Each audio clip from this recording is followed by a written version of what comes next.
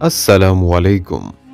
अज़्ज़ ख़वातीन हज़रात, अल्लाह पाक ने अपने आखिरी नबी मोहम्मद अरबी सल्लल्लाहु अलैहि वसल्लम की मोहब्बत उल्फत की दौलत से इंसानों के अलावा जमादात, नबादात, हैवानात हती के जन्नात को भी हिस्सा अदा फरमाया।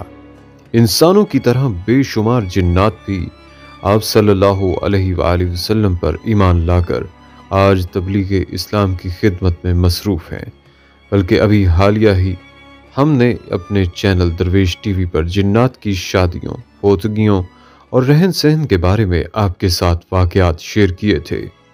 लेकिन आज की इस वीडियो में प्यारे नबी हज़रत मोहम्मद सल्लल्लाहु अलैहि और ऐसे होशियार जिन का वाक़ आपके साथ शेयर करेंगे कि जो आधा इंसान की शक्ल में था और आधा जिन था ये अजीब वाक़ जिसे सुनकर आप दंग रह जाएँगे। बल्कि एक ऐसे सहाबी जिनका अजीब व गरीब वाक़ भी वीडियो के आखिर में आपके साथ शेयर करेंगे। ये सहाबी जिन अभी हालिया ही हिंदुस्तान में अल्लाह वालों को मिले और इस जिन सहाबी ने रसूलुल्लाह वसल्लम की एक हदीस भी बयान की। आज मदारस में इसी जिन सहाबी की बयान की हुई ये हदीस भी तलबा को पढ़ाई जाती है। सहाबी जिन की ये हदीस आपको भी इस वीडियो में बताएँगे। नाजरीन, जिन्नात का ये वाक़ मौजात की किताब जामजात के सफ़ा नंबर सात पर यूँ बयान हुआ है कि मक्का मुकरमा में वलीद नामी एक काफिर रहता था, जिसके पास एक सोने का बुत था, जिस पर वो पूजा किया करता था।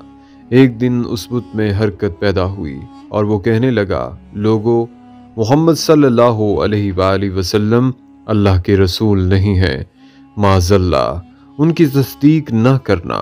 इस बात पर वलीद बड़ा खुश हुआ और बाहर निकलकर अपने दोस्तों से कहा, मुबारक हो।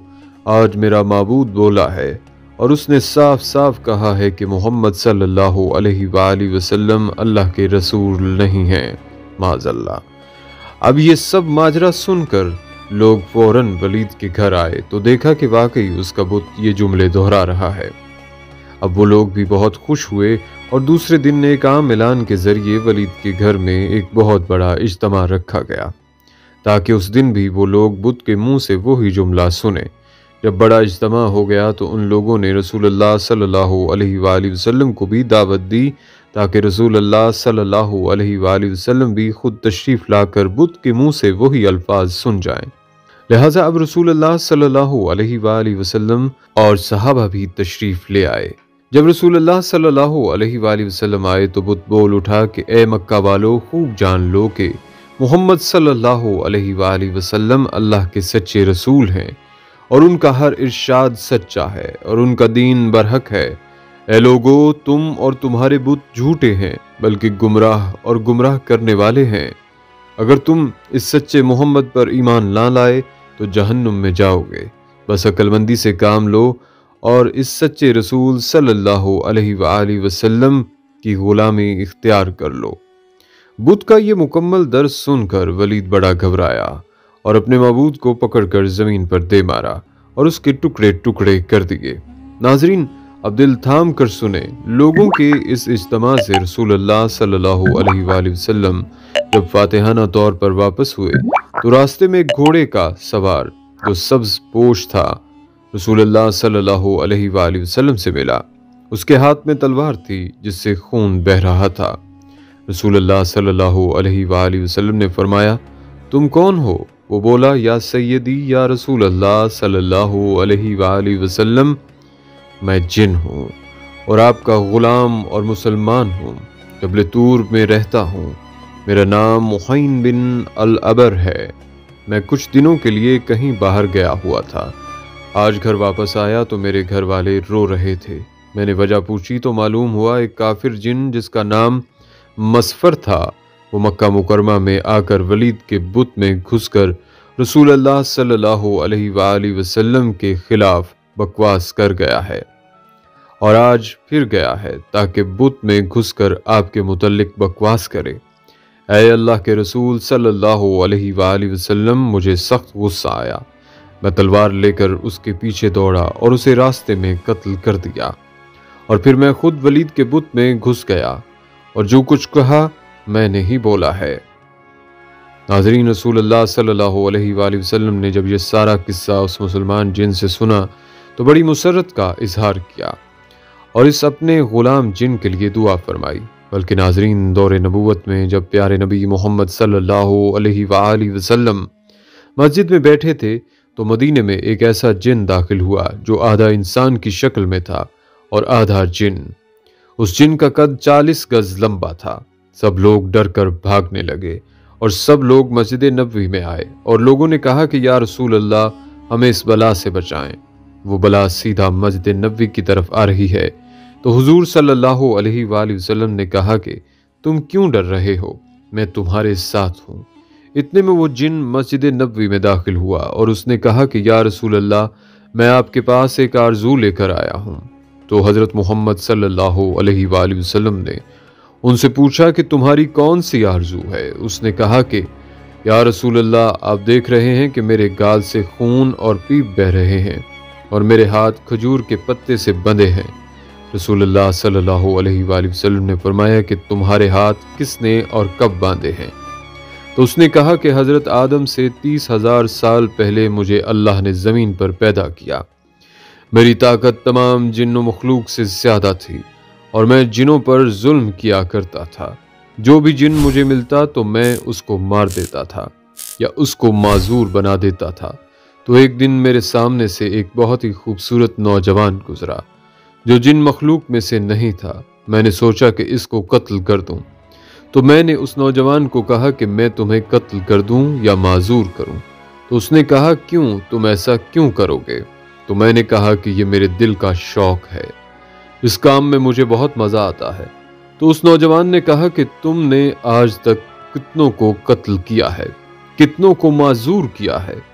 तो मैंने कहा, बेहिसाब लोगों को। तो उस नौजवान ने कहा कि, आज मैं सबका हिसाब कर दूँगा।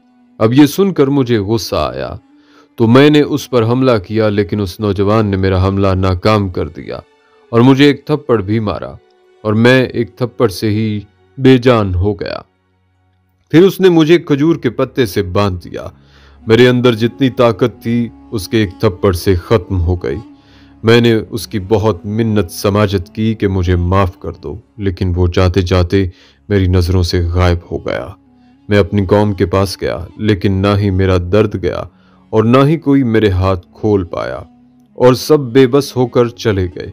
फिर अल्लाह ने हज़रत आदम सलाम को पैदा किया। मैं उनके पास भी गया, लेकिन उन्होंने भी कोशिश की नहीं खोल पाए। और अभी बहुत सारे अल्लाह के नबी आए, लेकिन कोई ना खोल पाया। तब मैं हज़रत इब्राहिम के पास गया तो वो भी ना खोल पाए। ऊपर से अल्लाह की वही आई है, ए इब्राहिम, इसको छोड़ दो, इसको वही खोलेगा जिसने इसको बांधा है। तो मैंने पूछा अच्छा कि वो कौन है जो खोल पाएगा? तो उन्होंने आपका बताया, तब से मैं आपके इंतज़ार में हूँ। और आज जाके मेरा इंतज़ार ख़त्म हुआ। उसके हाथ खुल गए और उसके गाल से खून आ रहा था, वो भी बंद हो गया। और उसके कुवत भी वापस आ गई। रसूल अल्लाह वसल्लम ने फरमाया कि, अब जाओ, तुम आज़ाद हो। तो उसने कहा कि, अब मैं कहाँ जाऊँ? मुझे तो हज़ारों साल बाद हक मिला है। अब मैं हक को छोड़कर कहाँ जाऊँ? नाजरीन, ये वाक़ अल्लाह ही जानता है, लेकिन यह हकीकत है कि अल्लाह ने जिन्नात से ज़्यादा ताकत इंसानों को दी है, बल्कि इंसान को अशरफुल मखलूक़ात बनाया है, बल्कि हज़रत शाह, अहले अल्लाह साहब, जो हज़रत शाह वली मुहदस देलवी के भाई और बहुत बड़े आलिम बुज़ुर्ग थे, उन्होंने एक मरतबा गलती से एक जिन को कत्ल किया था। ये वाक़ हज़रत अलामा अनवर शाह कश्मीरी साहब ने इस तरह बयान फरमाया है कि एक बार हज़रत शाह साहब अपने हुजरे में बैठे थे कि एक सिपाही आया कि आपको बादशाह सलामत ने बुलाया है। हज़रत शाह साहब फ़ौरन उठे और उस सिपाही के साथ चल दिए। वो सिपाही आपको बजाय लाल किला ले जाने के दहली से बाहर पहाड़ गंज की तरफ़ ले गया।